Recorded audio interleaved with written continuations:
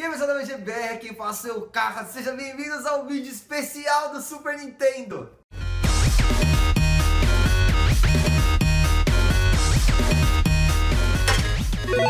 Bom, de novo eu aqui com os meus tops, que eu adoro fazer, me divirto muito fazendo a lista. E foi de novo no, no YouTube, não, porra, corta. E foi de novo, eu fiz a votação no fórum, no Facebook, no Instagram. Então se você não segue a gente em nenhum dessas três lugares, você perdeu a oportunidade de participar. Os links vão estar aí na descrição para o próximo top que vai ter com certeza. E então a gente abriu um tópico lá no fórum e um post no Facebook falando quais são os jogos mais memoráveis do Super Nintendo, que fez console maravilhoso, o maior console de todos os tempos, na minha humilde opinião, gamer. E eu com certeza se você gosta de videogame, você já jogou esse videogame. No meu caso, foi o primeiro, vi primeiro videogame que eu joguei na minha vida. Eu era bem criança e praticamente não zerei nada nesse, nesse videogame na época, mas depois revisitei ele e joguei os maiores títulos aí. Então vamos a eles. Lembrando que o nosso top não é em ordem de melhor e pior, muito menos eu votei. Então se você quer dar algum hate, dá o hate pro pessoal que votou, que eu vou falar o nome no final do vídeo. Bom, e o mais votado de todos... Não, acho que vou começar pelo menos votado, né? Bom, o primeiro jogo na nossa lista não teve aí muitos votos, mas ele acabou entrando na lista do, dos 10 jogos mais memoráveis de Super Nintendo, que é o Final Fantasy VI.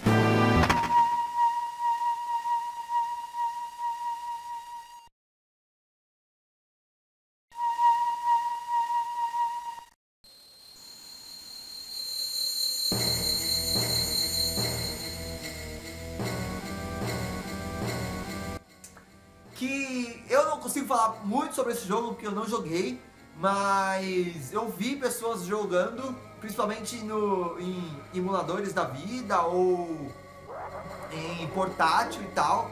E eu sei que, pô, né, Final Fantasy é um, um título muito famoso por si só, um JRPG que as pessoas falam que o 6, eu, eu pedi para as pessoas falarem um pouco da experiência delas com alguns jogos. E quem votou no Final Fantasy VI falou muito do enredo, dos personagens, em como isso é desenvolvido, e coisa que para essa época acaba sendo raro. Então, é muito interessante estar um RPG nessa lista, sendo que a maioria das pessoas que votou jogou quando criança e não tinha em, em português. Se tinha em inglês era muito, eu já vi gente falando que jogou em japonês esse jogo. Então, tipo, é muito foda ver como nós, gamers brasileiros, temos amor aos jogos e ultrapassamos qualquer barreira pra jogar um título, né? Jogando ele até em japonês, né? E ainda mais um título que tem um foco na, na, na história e no enredo e nos personagens. E tem os nomes das magias que você tem que usar e etc e tal, né? É um RPG de turno. O, você tá vendo aí um pouco do, dele aí na tela.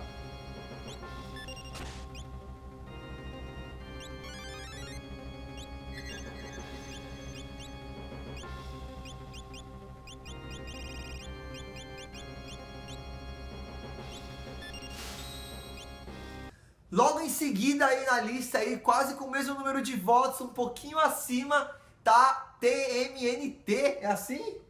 Turtles in Time, mano, que é o jogo da Tartaruga Ninja,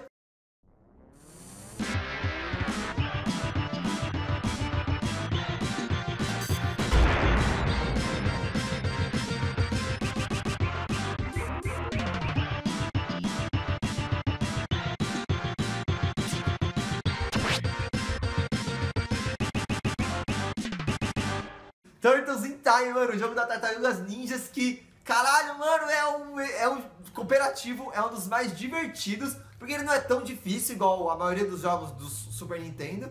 E, porra, mano, quem é da época assistia Tartarugas Ninja e eu, eu lia quadrinho e aí você vai jogar o game e, caralho, é muito foda.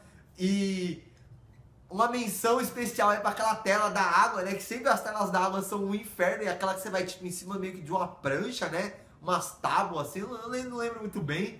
E eu lembro que nesse game, é, quando você mata os inimigos, eles explodem em vez de, sair de simplesmente sumir ou de tipo, sangrar, né? É muito engraçado né, esse tipo de detalhe que os desenvolvedores colocaram. Ele é um jogo beating up, plataforma, então é aquele clássico jogo de, mano, andar e sair dando porradinha em todo mundo. Os chefes não são tão difíceis quando jogados em multiplayer, então, puta, merece estar nessa lista, realmente um jogo memorável do Super Nintendo.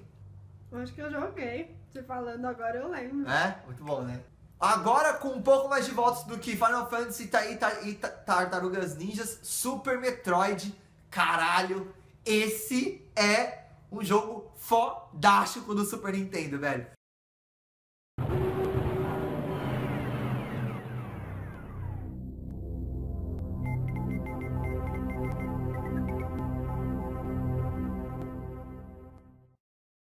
Não é o primeiro título do Metroid, mas eu diria que, assim, na minha opinião, ele é o.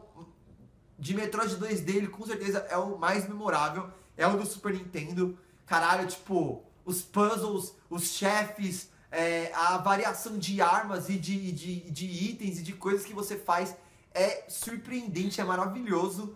Você jogar com a Samus e, e, e o gráfico, ele tem umas cores é uma paleta de cores muito interessante. Então, tipo, você tá numa fase mais dark, assim, tudo é meio azul e meio escuro. Você entra numa fase de, que tem mais fogo ou que, que, que você pegou, né, a, a, ideia.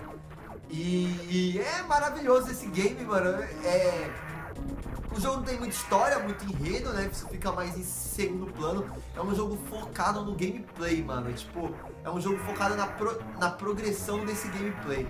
E assim, na época você não tinha muitos jogos que precisava ser jogado muitos dias, né? Tipo, você não pega e zera de, de uma vez. E Super Metroid é um deles, tipo, eu pelo menos não consegui zerar nenhum em dois ou três dias, né? É um jogo que você tem toda uma progressão e, porra, isso mudou o jeito de se pensar videogame na, na época, né? Você tem muitos jogos que vão na onda de Super Metroid é, até o próprio Castlevania, que já tem na época, ele acaba, depois do Super Metroid, ele acaba seguindo essa onda do Metroid, de ter um mapa onde você revisita os pontos que você já foi, com itens diferentes, vai abrir locais novos.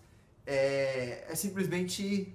É isso, merece estar nessa lista. Com o mesmo, o mesmo número de votos de Super Metroid, nós temos Super. É, é Super Mario Kart, mano. Caralho, é tipo. É óbvio, né? Mario Kart tem que estar nessa lista.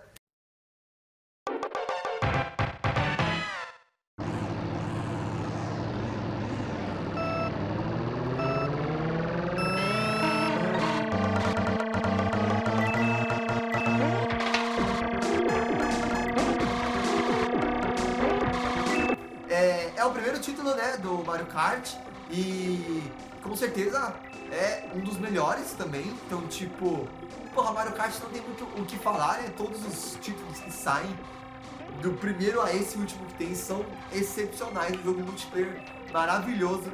Na época você tem uma simulação de um 3D ali, né? Quando você faz a curva, o bonequinho muda os sprites dele, né? Dando uma sensação de que ele é um boneco 3D, quando na verdade é, ele tá te enganando, né? Tipo, ele coloca um sprite do, do bonequinho parado, outro do bonequinho fazendo a curva, e isso dá a sensação de que o boneco é 3D. Puta, isso pra época, caralho, tipo, era maravilhoso, né? Fora também que o cenário também brinca com isso, então as árvores também tem essa brincadeira. Um jogo também muito, muito, muito colorido e que junta aí a galera do universo da Nintendo pela primeira vez aí para fazer um jogo que, que brinca com isso, né? De a galera vai andar de kart junto, né? É uma ideia maravilhosa, um jogo divertidíssimo, multiplayer divertidíssimo. Merece com certeza estar nessa lista. Então, do Super Mario Kart, agora a gente vai para Street Fighter 2. Não é o primeiro jogo do Street Fighter, mas é o primeiro jogo memorável do Street Fighter. O primeiro jogo do Street Fighter, eu nem sei para qual console que é, mas. E realmente nunca nem vi ele. E então o primeiro que eu tive contato, eu acredito que a maioria das pessoas, foi esse Street Fighter 2, né? Tem várias versões Street Fighter. Street Fighter Turbo e Alpha e o caralho, né? Como sempre, a Capcom fazendo um milhão de versões do mesmo game, né? E inclusive o Street Fighter 2 é a primeira memória que eu tenho de jogar Super Nintendo é jogar Street Fighter 2. E também, né, um jogo que, pra época dele, acho que o jogo mais marcante de jogo de luta, até depois chegar o Mortal Kombat, né, que consegue aí rivalizar, mas Street Fighter é uma marca, assim, gigante, é, desde o começo até hoje, e é genial esse jogo, né, mano? Eu nunca fui um mestre em, jo em jogos de luta, mas sempre gostei, sempre me diverti muito. E Street Fighter 2 foi um, o primeiro título que eu me lembro de ter jogado de videogame em, um console de mesa, que foi no Super Nintendo. Com a mesma quantidade de votos que Street Fighter 2, Mega Man X.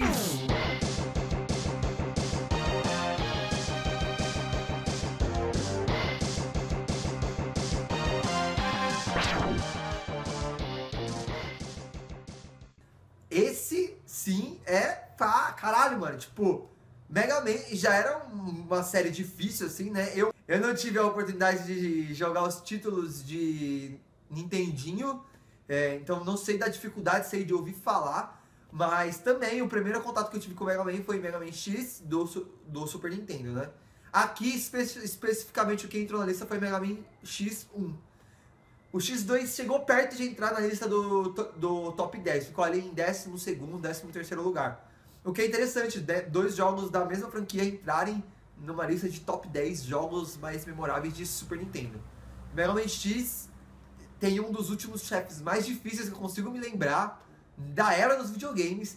Ele inclusive entrou no meu top 5 momentos mais difíceis dos jogos que eu já fiz no meu canal anteriormente. Não vou deixar o link aqui porque o canal não existe mais.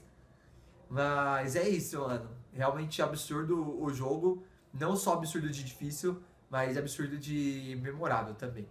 E outro que também ficou ali aproximadamente com os mesmos votos, um pouco mais, foi Donkey Kong Country.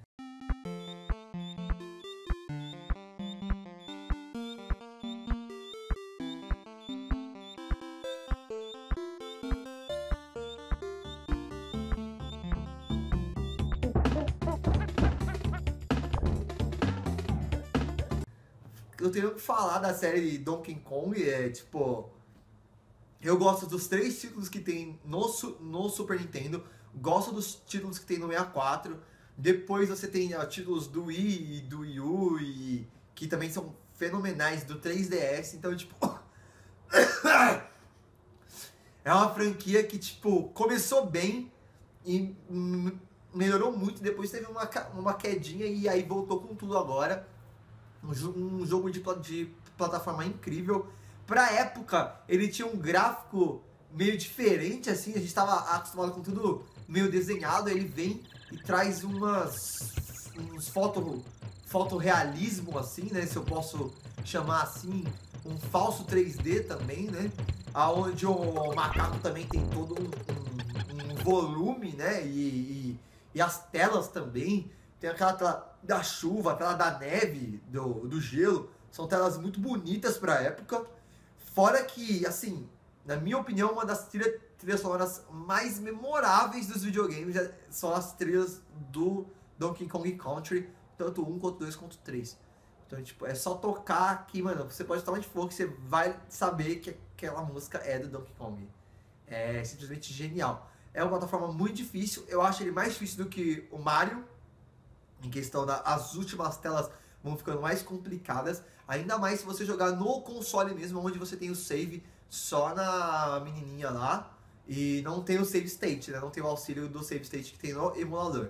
Eu aconselho você a ter essa experiência porque é penosa.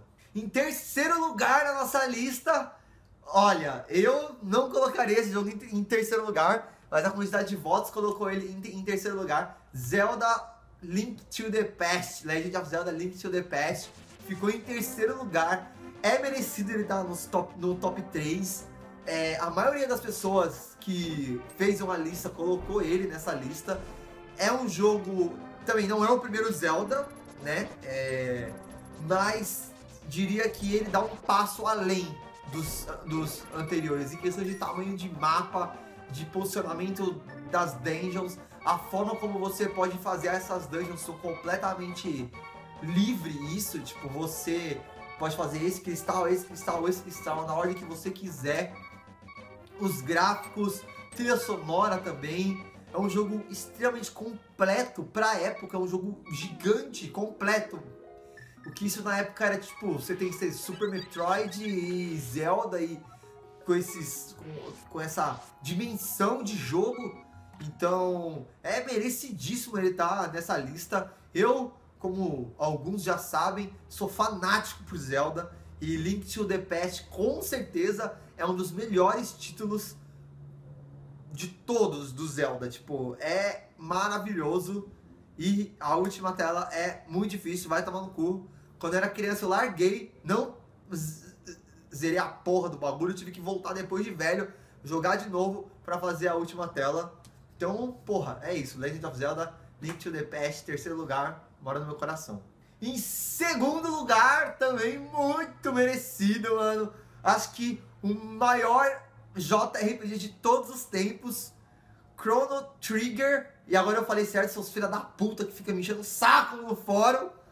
Chrono Trigger é, tipo, já falei dele aqui, né, no canal, porque ele realmente é um dos melhores jogos de todos os tempos, é um dos melhores RPGs de todos os tempos. Um Dream Team aí que se juntou para fazer isso acontecer, juntou a Square, juntou galera do Final Fantasy, juntou a Akira Toriyama do Dragon Ball para fazer isso acontecer e é simplesmente um jogo incrível.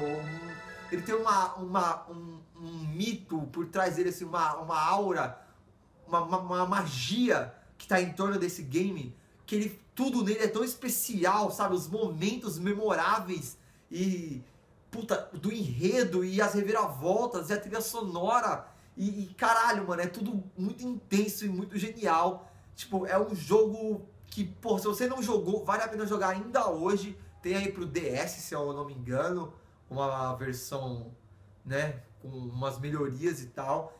É, é fantástico. É um jogo que merece estar aqui em segundo lugar, porque. Porque sim, velho. Porque é, é fodástico. Se você não jogou, joga Chrono Trigger.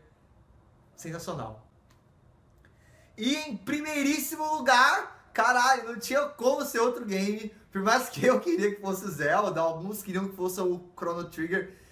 Eu acho que é unânime e essa lista só mostrou isso.